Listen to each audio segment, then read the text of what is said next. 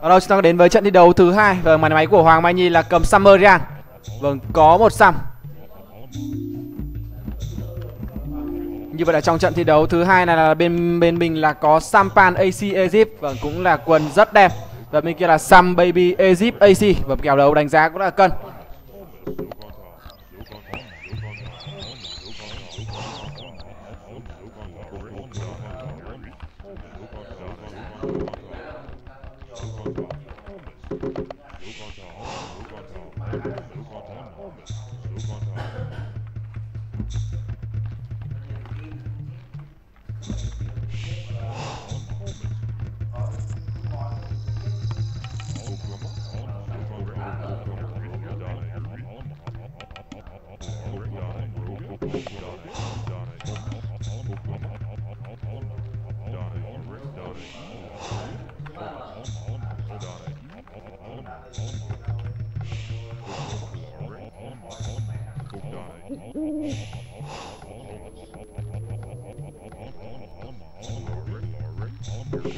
Vâng, cùng trở lại với trận thi đấu này. Vâng, một trận thi đấu mà các loại quân của hai bên là rất giống nhau, chỉ có một khác mỗi Pan và Babylon.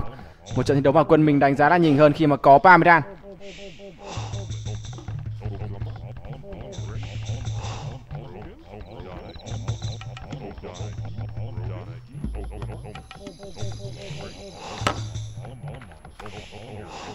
Oh,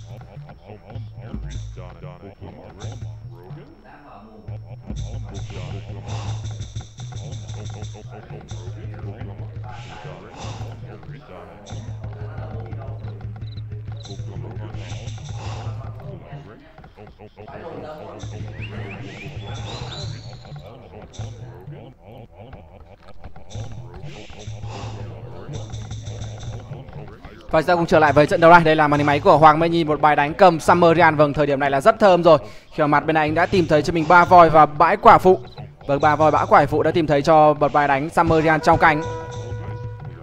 Vâng, cùng đảo qua các màn hình máy khác xem thế bài mắc có sắp xếp Bắc Bình dành cho các game thủ của Hà Nam không. Đây là màn hình máy của Tý. Vâng, người cầm cung Egypt và cũng được đẩy vào là một trong cánh.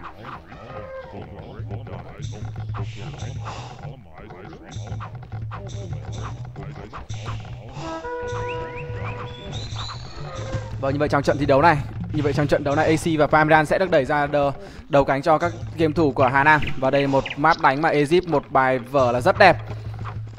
Vâng bài về thế là cực kỳ đẹp dành cho người cầm Egypt trong tay tí rồi.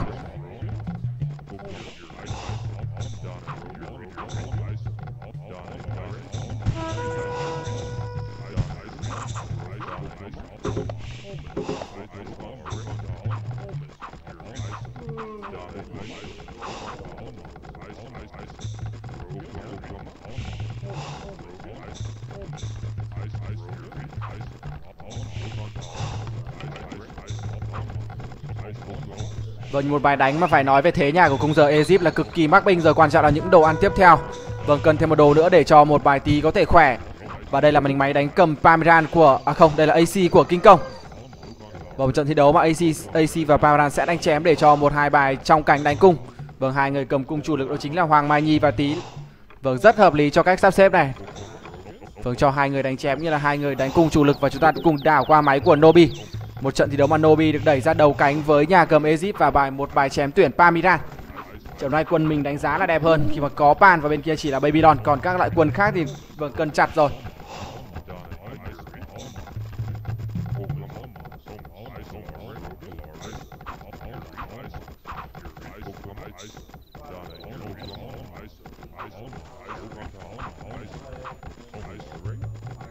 Ồ không, như vào một bài đánh như vậy một bài đấu mà pamiran của mình lên đời tương đối muộn.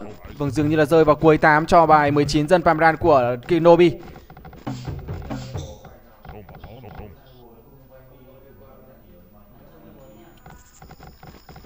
Như vậy một bài pamiran sẽ không đột biến, nhưng quan trọng là thời điểm về sau. Bài pamiran trong tay Nobi này sẽ là một bài khỏe. Và mặt trên kia vẫn còn một vòi nhưng là đang bú nguyên một bãi quả phụ.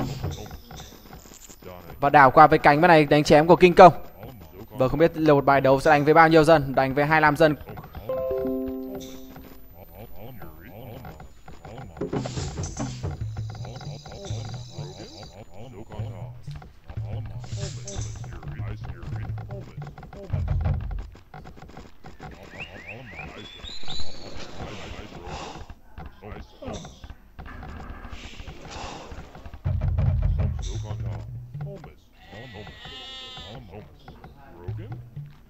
Và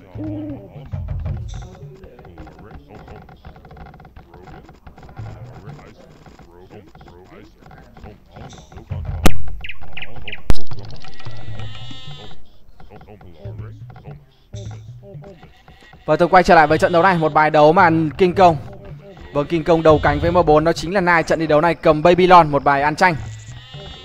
Vâng bài ăn tranh quả Và dường như thời điểm này, một bài mình lên đời sớm hơn Khi mà vừa rồi mới có sự xuất hiện của năng nông dân Để có thể thiết kế nhà BL Nhà điều kiện dành cho người cầm màu 4 thôi Vâng Nai và Nobi đang thiết kế cho mình những chiếc nhà BE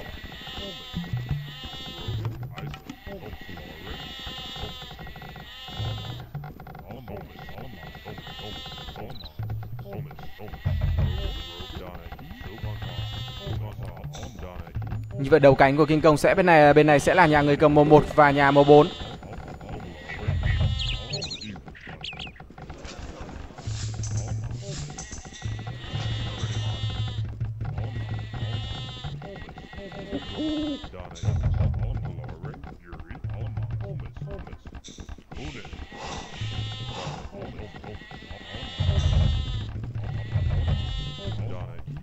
Vâng, chúng ta cùng đảo qua màn hình máy khác. Đây là màn hình máy cầm pamiran Vâng, cầm pamiran của Nobi một bài lên đời không được sớm. Người tham lai tụt xuống chỉ là 16 thôi. Giờ không biết thời điểm ờ, đối đầu với nhà ai. Một tình huống Nobi dường như là bị mất uh, mất khoảng 4 dân, vâng 3 4 dân. Như vậy đối đầu với người cầm moba một bài đánh với hai nhà BL của Tùng Anh trận đấu này cầm summer Summerian.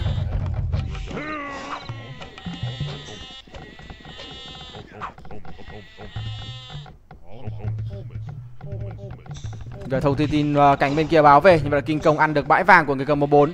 Như vậy thời điểm này 14 vẫn chưa có bánh xe và chắc chắn chắc chắn là số lượng nông dân này của 14 sẽ phải nằm hết rồi.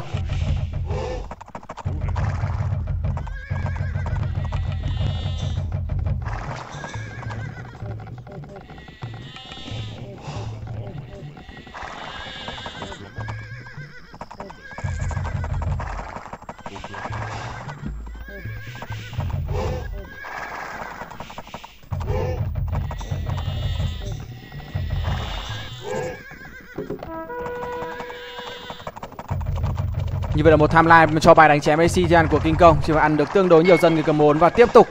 Vâng tiếp tục đục vào khoanh ruộng này. M4 thì đã chuẩn bị Vâng đã cơ cầu cho mình một cái nâng cấp một cái lớp bánh xe Để con nông dân có thể chạy tít hơn Nhưng vừa ăn được thêm 3 dân. Vâng cánh bên này là no, King Kong Kin được khoảng 10 dân người cầm M4 rồi Hoặc ít nhất là 10 dân.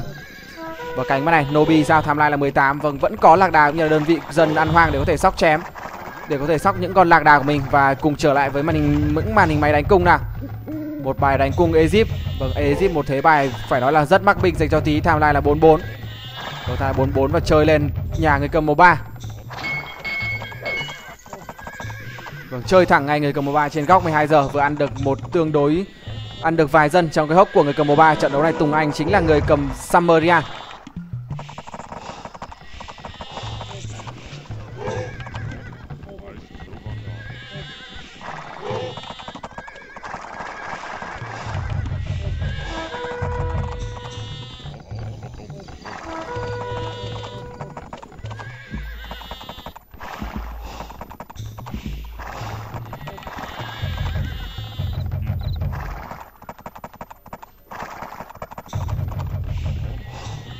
Vâng, như vậy thời điểm hiện Như vậy là thời điểm hiện tại thì hai nhà cung bên mình là một thao lại cũng rất ổn trong bài đánh cung Summer cũng như là cung giờ Egypt. Vâng và hai người cầm cung là hai người game thủ rất cứng để có thể cầm chủ lực rồi. Vâng tham lai 64 với vẫn là bốn nhà BA cho người cầm summeria này.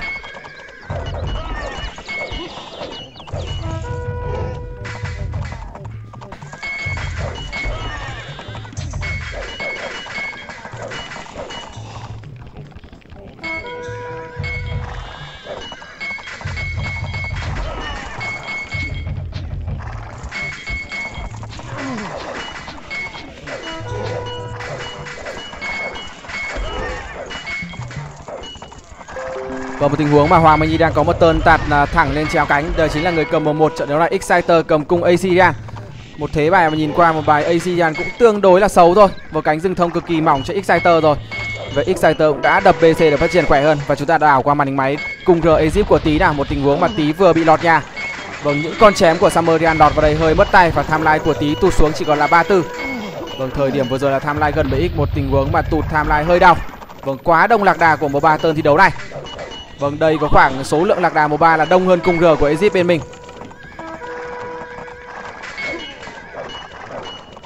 Vâng số lượng lạc đà đông như này thì mình không thể chơi được. Khi mà solo thì cung R không thể chơi uh, một thì không thể chơi với lạc đà. Khi mà lạc đà là được cộng đam. Nhưng mà tình huống này tùng anh là chưa để ý. Và màu hai kenz vậy là màu hai vòng ba đang quyết định lấy tham của tí tơn thi đấu này. Khi mà màu hai đang có mặt tại nhà ba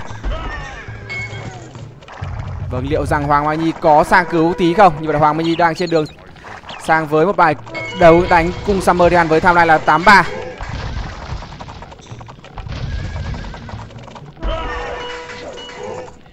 Vâng, vậy thời điểm này không biết những nhà chém bên mình còn hoạt động không khi mà liên tục những đơn vị chém của đội bạn vâng móc máy như hai nhà cung bên mình là cực kỳ khó chịu rồi. Và đây là màn hình máy của Kinh Công tham lai 27. Vâng, cần phải có những đơn vị chém đi móc máy những nhà cung chủ lực bên mình. Ở thời điểm công vừa rồi màu ba công lên tham lai tí hơi bị giảm một chút. Đây là hai tham lai 27 của Kinh Công và Nobi tham lai là 12. Vâng, Pamran tham lai 12 nhưng mà em giữ cho mình được khoảng uh, vâng bốn con lạc đà cũng là cộng một con giò như vào tuần thi đấu này. Vâng, rất may tốc độ di chuyển của những con lạc đà pamran là nhanh. Vâng, màu hai vẫn chưa thể bắt được số lượng lạc đà của Kinh Công trong tơn thi đấu Nobi trong tơn thi đấu vừa rồi. Và đây là máy của Hoàng Mai Nhi, một bài tham lai là 90.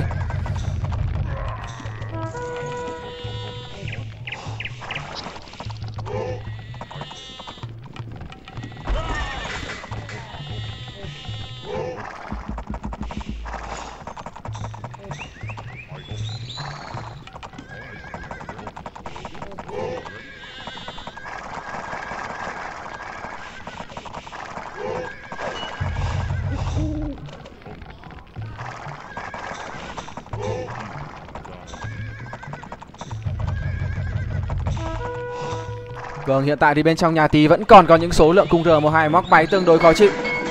Vâng, M3 thì vẫn tụ vẫn dẫn tụ cho mình được số lượng lạc đà là tương đối đông. Tham lai 3 năm như vậy là tí đang trong thời gian chuẩn bị cơ cấu và hồi lại một tơn.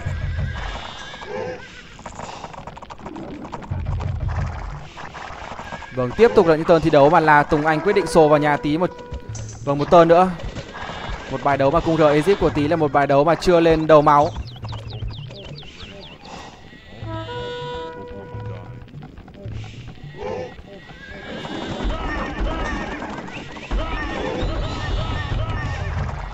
Coi như là về công nghị của cung R Egypt trong tay tí đã là những uh, một lớp giáp hai nhưng mà quan trọng là chưa có đầu máu. Vâng, nếu như có thể lên được đầu máu sẽ là một vài mắc binh hơn dành cho những con cung R của Egypt như là mùa một. Vâng, mùa một đang có thế mà đang ốp lên nhà Hoàng Mai Tôn đấu này, tham lai là 93. Vâng, tham lai 93 nhưng mà cung R của Exciter là cung R Exidian. Vâng, mình chỉ là cung R Summerian nhưng mà đã có đầu máu rồi một thế bài mà Exciter dường như chưa để ý dàn quân trong tình huống này. Tình huống đấu quân. Một tình huống đấu quân dường như là exciter không điều trong tơn thi đấu này và số lượng cung của mình là đông hơn. Còn nếu như khoảng mà khoảng chục giây nữa thôi mà exciter không để ý điều quân là chắc chắn số lượng cung r này sẽ nằm. Vâng nhờ một tình huống mà exciter một, mất một kích cung r tương đối đau với người cầm cung ac và tơn thi đấu vừa rồi dường như là exciter đang bận tay tại nhà và quay trở lại máy kinh công. Rồi đúng rồi như là exciter thiên thời vừa rồi là mất tay với những con sọc đơn của kinh công. Vâng một tình huống mà timeline của em là 28 Vâng thả ba con sọc đơn và cực kỳ khó chịu. Vâng tạo cơ hội để cho Hoàng Mai Nhi có thể kin được một kích cùng R Assyrian của Exciter.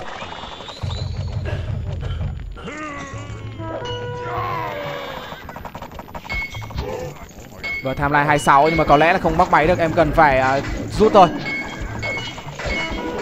Vâng không bóc máy phải té thôi. Và không biết là thời điểm này timeline Nobi vẫn giữ là 12 Vâng vẫn giữ là 12 Hiện tại hai nhà chém bên mình chỉ là một bài chém mà đi quản quấy thôi. Vâng tham lai của tí vẫn chưa thể hồi được.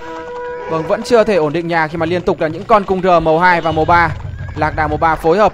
Vâng liên tục móc bài lên đây, tham lai là 43 Vâng hiện tại một bài cung R Egypt bên mình là vẫn chưa khỏe đâu Khi mà liên tục là những con lạc đà màu 2 và màu 3 công lên. Vâng một thế bài là rất kín dành cho tí nhưng mà vẫn đang bị hơi mất tay và cùng quay trở lại với bàn này, cùng chủ lực Tường tham này là 96 Vâng AC trong tay Exciter tiếp tục dường như là có ý định đẩy thêm một tơn. Và có thể trên, thấy trên bản đồ con Vâng một chấm màu một. Vâng một chấu màu một đang có mặt giữa nhà Hòa như nhà nhà của Kinh Công. Và đây là dân của màu 4 Vâng tờ này những con nông dân ờ, chạy lạc Vâng, mùa 4 này vừa kéo dân chạy ngay đúng thẳng vào những cái kick cung R của Summer. Và Tơn thi đấu vừa rồi mình ăn được khoảng 8 dân mùa 4. Vâng, tham lai một tơn. như vậy là màu 2 và màu 1 là một bài mà hai kim thủ đội bạn là một tham lai to. Vâng màu 2 vâng nhìn trên bản đồ màu 2 vẫn đang có một kích cung rờ công lên nhà tí thời điểm này. Và cũng đảo qua màn hình máy tí mà liệu rằng thời điểm này tí có thủ được không? Tham lai là 42 vâng tại cánh rừng từ 10, từ 9 giờ xuống. Vâng đang có những con cung rờ màu 2 đứng trên mặt dốc này.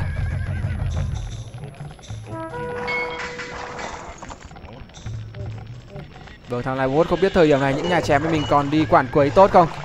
Vâng màu hai vâng, vâng những nhà cung bên đội bạn liên tục là đang có một thế mà đi công. Và đây tham lai Nobi Vâng tham lai Nobi chỉ còn là một x tham lai 13 Vâng tụ cho mình được số lượng lạc đà bốn con nhưng mà Vâng toàn là thương binh rồi.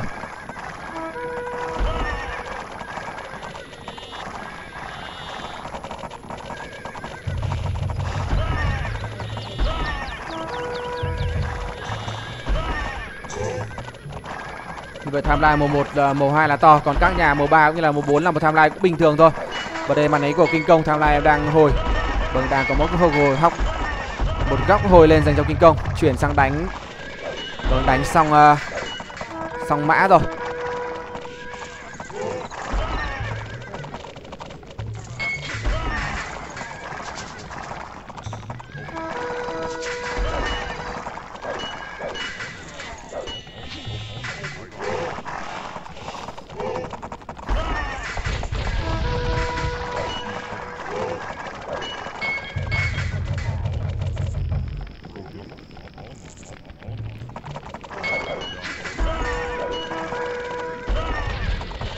Và cùng quay trở lại với cánh bên này. Đây là màn hình máy của Hoàng Minh Nhi tham lai 121 Vâng rất đông cung RAC Quòng tay Exciter đang có ý định sổ lên tơn thi đấu này.